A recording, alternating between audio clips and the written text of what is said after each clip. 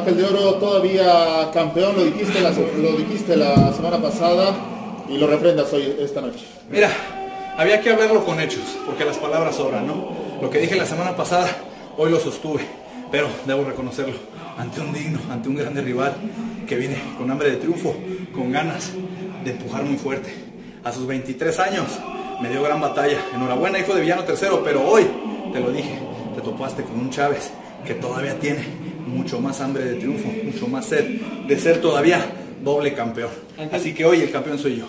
Ángel de Oro, ¿esta es la defensa más difícil que has tenido? Todas son difíciles. Tuve una contra Mephisto, demasiado difícil, que fue la primera defensa. Otra con otro que me dio pelea, que fue Dark Panther. La verdad, otra gran defensa. Esta también la considero difícil. No hay rival pequeño, la verdad. El joven la semana pasada nos demostró a Niebla Roja y a mí que tiene con qué. Y hoy me dejó muy lastimado. Pero te lo vuelvo a decir, los Chávez, tenemos sangre precisamente de Chávez, que se mueren en la raya. Y casi, casi, para vencernos, a los Chávez hay que matarnos.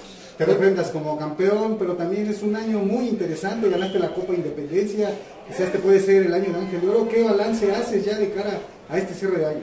Puede ser, mira, a principio de año fuimos campeones mundiales de parejas, Niebla Roja y yo, por ahí de febrero, ganándole a Volador y a Titán, unos grandes luchadores. Después eh, pues fui teniendo defensas, de, de parejas ya llevamos seis defensas, con este ya llevo tres defensas.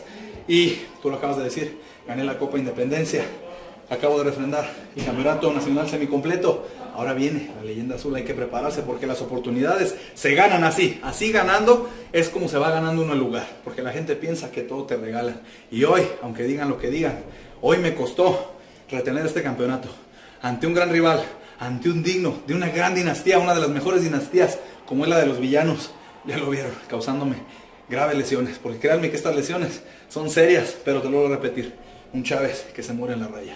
¿Qué tanto se complicó la batalla precisamente Ángel de Oro? No solamente por el rival, sino porque más de media batalla estuviste luchando lesionado y muchos de tus castigos no los podías aplicar porque te podías lesionar tú mismo, como el caso de la campana. Sin duda, mira, fíjate que fue casi al principio de la lucha, ¿no? Cuando va y me estrella contra, le llamamos nosotros el corralito.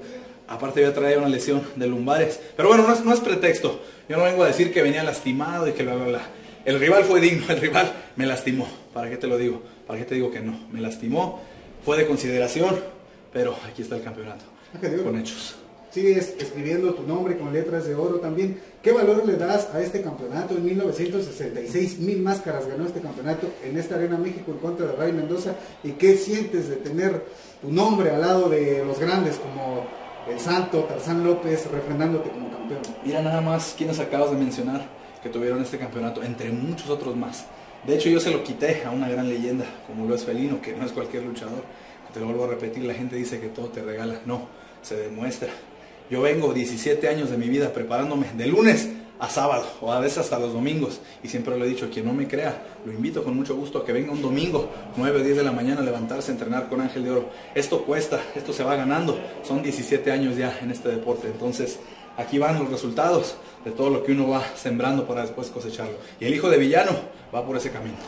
¿Hay tiempo para recuperarse Ángel Oro físicamente, para sanar, pensando en que esa leyenda azul se puede ir para la laguna con ustedes? Mira, ya lo dice un gran luchador, un viejo lobo, el señorón de los cuadriláteros, ya lo ha dicho muchas veces Negro Casas, a quien yo admiro. Las lesiones es el pan de cada día. Ángel de Oro no se queja. Hoy me lastimé, mañana puedo recuperarme, puedo durar una semana, puedo durar dos semanas. No vamos a parar de luchar porque así somos los luchadores. Ya lo dijo Negrito Casas, este es el pan de cada día. Y el que no se lastime no es luchador. Todos los días tenemos lesiones arriba de un cuadrilátero. Hoy no fue la excepción, pero mira, esto es lo que cura las heridas. Hoy llego a casa, que es casa de todos ustedes, y llego contento, aunque esté lastimado. Oye, con derrotas y victorias eres el luchador más constante del 2022. Es el año del Ángel de Oro. Se gana, como te lo vuelvo a repetir. No me voy a parar el cuello diciendo que soy el mejor, que he vencido a los mejores, no. Me ha costado como el aniversario, venciendo a dos monstruos que son Místico y Volador, ganando esa Copa Independencia. Te digo, lo voy demostrando. Eh, se ha dado, se ha dado, ¿por qué? Porque estoy preparado, porque me sigo preparando y porque día a día sigo aprendiendo de cada uno de mis rivales. Hoy me lo demostró un novato, entre comillas, pero demostró la dinastía que trae. Entonces, sin duda ha sido un gran año para mí, pero te lo vuelvo a repetir, esto se gana, esto se cosecha para después, para después tener este tipo de triunfos. Con estos resultados, Ángel de Oro, es tiempo de pensar en una gira por Japón, quizá. Eh, te lo vuelvo a repetir, me lo quiero ganar no es de que te regale, ay, va a ir Ángel de Oro a Japón, no. Con este tipo de triunfos, a lo mejor estoy en el ojo. Ya sería el décimo viaje a Japón, la verdad soy eh, casi de casa en New Japan, este, la gente me recibe muy bien por allá.